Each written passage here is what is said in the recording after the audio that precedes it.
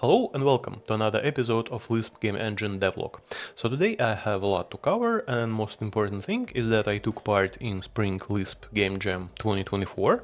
Uh, if you did too, I urge you to cast your vote because the voting period uh, hasn't uh, ended yet. There is still a little bit of time. Uh, so yeah, my entry is called Cycle of Evil. It is kinda strategic strategy or maybe strategy-ish uh, game uh, like in fantasy setting. So like without the direct player control uh, so yeah that's the uh, thing. So let me uh, talk a little bit about how it is done internally.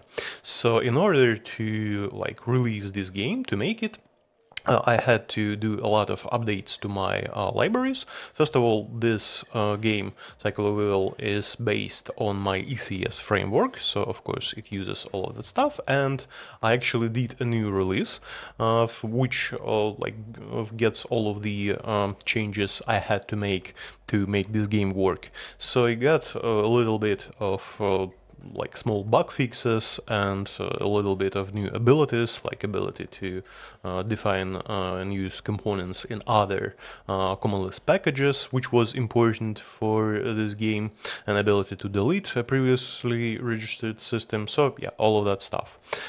So then, yeah, there is this release. I named it 0.5.0, so it kinda the milestone uh, towards the way, yeah, in a way towards uh, 0 1.0 version.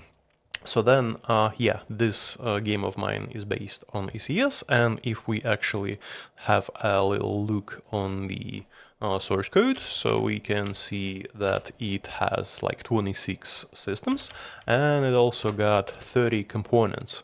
So yeah, that's kind of a lot of stuff, but yeah, uh, let's dive into that later.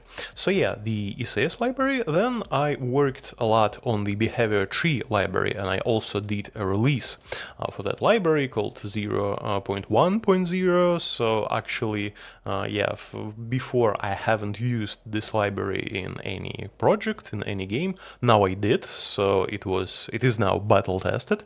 So it got a lot of changes too. I added a lot of new types of standard nodes, right, like invert, random, etc. Um, I've done a lot of bug fixes and I've even did a project logo. So it's again this vector thing with a tree and like the this lightning. So yeah, that's that. Uh, it it is now battle tested. So yeah, it I guess can be used in uh, other projects. So let me demonstrate of some of the behavior trees that I implemented within this game Cycle of Evil. So first of all, there is this offensive behavior tree. So this behavior tree is assigned to the characters that are fighting with each other, right? Uh, so it, it, it is, yeah, this bushy. It got a lot of nodes, but it actually works pretty fast and good. So then uh, I got the separate behavior tree for the sheep. There is sheep in the game, which, uh, yeah, just run and just do that, and then they also can reproduce actually. So there is this separate sequence called breed sequence, and then they can actually, yeah, uh, make a lot more of uh, themselves. So yeah, uh, there's this tree, and then there's probably the most uh, complex uh, behavior tree for the peasants, for the small guys that run towards the sheep and then just smack them with the hammer, and then they get meat out of those uh, sheep and then they they just put that meat uh, like for the warriors to eat and then when the warriors eat this meat they can like um, get some HP from that.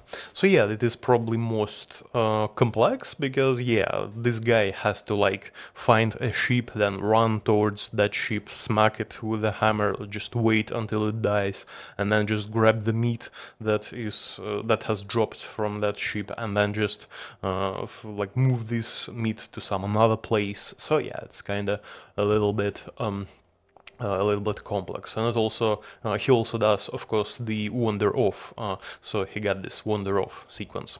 So yeah i mean you might think that this uh, might be a little bit uh, not on the side of performance because like every uh, node in this tree it actually makes a separate component in terms of ecs and it also makes a separate system in terms of ecs so yeah you might think that it might be a little bit slow but actually no. Actually the behavior trees work perfectly. I mean, they, they compile like uh, a shit ton of time, but they actually work pretty fast. The thing that was working the slowest, I mean, I actually even did the profiling of the game code, and I actually find I actually found the place which was the slowest. And surprisingly, this is the place where the sprites are drawn. So it is this uh, system called render sprites, right? And it does all of the things that are needed. It does the sprite batching call, by calling this AL hold bitmap drawing.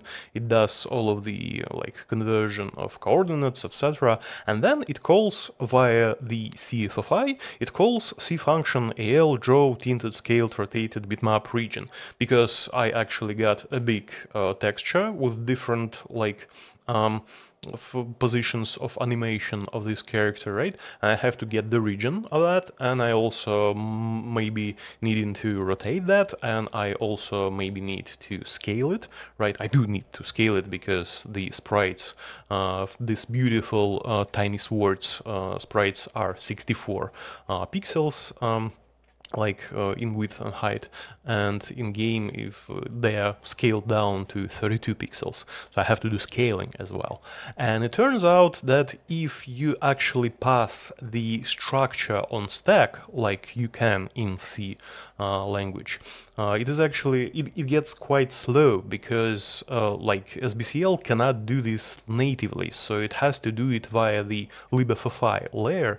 And it's actually very very slow. So it um, it works uh, like the slowest. So if you get like a hundred or more than a hundred of characters on the screen like your fps drops to a hundred maybe 150 frames per second. So yeah it is quite slow and it, it has to be fixed. I mean you don't really uh, you don't actually need this um, like uh, color here every time. So like most of the time I'm passing here the transparent constant, which is just basically the uh, black with the uh, or rather white with the transparency uh, value 255 so yeah most of the time you don't even need that and the problem is in Allegro if you want to uh, and Allegro is the underlying uh, like middleware graphics library I'm using. So in Allegro if you want to rotate if you want to scale and if you want the region of some uh, like sprite to be drawn then you have to call this function which also takes the color. So yeah, that is a little bit of problem, but I mean, there's nothing unfixable, so I guess I can work with that. But anyway, the number of the characters in the single screen in our game was like kept at around 100 or something like that. Uh, so yeah, that's that. Um, so let me talk a little bit about other libraries. So I also used this old library of mine called CL-libAllegro Nuklear, which adds the support of a GUI library called Nuklear into your CL-libAllegro uh, based applications. So I actually uh, moved forward a bit this uh, piece, this interface called declarative interface, right? So uh, it is this uh, nice macro called def window and it got all this nice like declarative description of the UI you want to draw. So I advanced this a little bit uh, forward um, and yeah, that was that. So the next thing I wanted to talk about is the actual uh, new library. So uh, I've released a library called CL-Aseprite, uh, all the links down below, as usual. Uh, so this new library, uh, as you might guess from the name, uh, it is uh, intended to to be the parser of Aseprite format, which is the format of the uh, program with the same name called Aseprite, which is actually a pixel sprite editor, right? So you can like save uh, this pixel sprite animations and then you can load it in your uh, Common Lisp program, right? So yeah, it got this nice uh, different structures. Uh, so we got this interface thingy, and it got the destructs for every like meaningful pieces that are stored inside of that um, ASCII file, right? So it got the tag, which is how they call the animation sequences. It is the cell, how it is how they call like the separate images. It is the layer, it is the sprite itself, the metadata about the sprite. So here we go. Yes, so it is working. I've tested it. So actually I would need to write some tests for it, I guess, and also some documentation because yeah, it kind of lacks the documentation except the basic doc strings. So yeah, I would work on that a little bit. I would also work further, I think uh, the first time I would be working after that is CLTile uh, library because it is kind of awesome, but it lacks some features I actually need for my future uh, game engine. Uh, so yeah, that's that. And uh, needless to say, all of those libraries uh, and all of the updates are available in our Lucky Lambda repository, the QuickLisp repository. So you can install it in your Lisp by calling this uh, line. Uh, again, all the links down below. Um, so yeah, I guess that's all I wanted to talk today. Uh, so I would be working further on this uh, engine uh, of mine. So I guess the form of this engine is starting to getting more clear for me. So yeah, I guess uh, that's a nice thing. And at some point in future, I would release uh, like the first version of this uh, engine. So yeah, that's that. Thank you very much for watching. if you want more, subscribe to my YouTube channel. Subscribe subscribe to my uh, Mastodon. Um, all the links down below. Uh, so yeah, thank you very much. Have a nice week and bye.